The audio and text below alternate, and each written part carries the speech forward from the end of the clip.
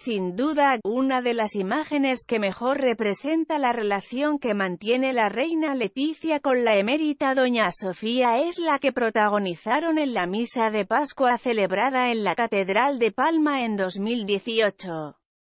Hablamos de la escena en la que la reina Leticia intentó evitar que la emérita doña Sofía se tomara una foto con sus nietas, la princesa Leonor y la infanta Sofía. Un espectáculo que no terminó ahí. Ya fuera de la catedral, Leticia le limpió a Leonor un beso que le había dado su abuela. Una estampa que en Diario Gol te invitamos a vivir una vez más.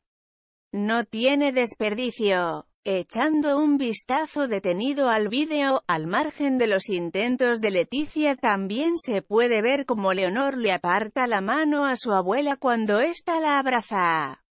Dicen que su reacción respondió a que no quería que ni una ni otra la utilizaran e iba como loca por apartarse de la escena, y no a que no quisiera tomarse una instantánea con la M. Sin embargo, fuera por lo que fuera, esta escena podría repetirse con su abuelo Juan Carlos y... Y en esta ocasión sí que sería por evitar salir en una foto con el emérito porque a la princesa no le han pasado desapercibidas las informaciones sobre Juan Carlos que estos días llenan los medios de comunicación.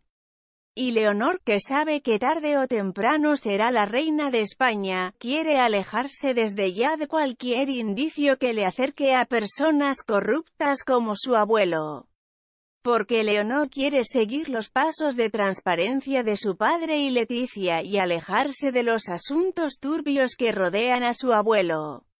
Y para ello, no quiere ni una sola foto más con Juan.